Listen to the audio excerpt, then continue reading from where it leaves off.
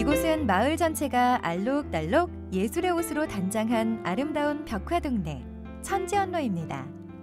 이곳에서 만나게 되는 작품은 작품 번호 16 Wind of 제주 제주의 바람입니다.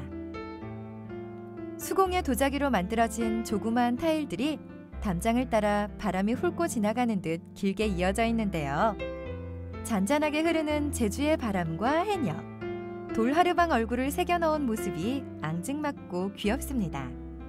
제주를 상징하는 해녀와 돌하르방의 귀여운 캐릭터로 탁본 체험도 할 수 있다고 하네요.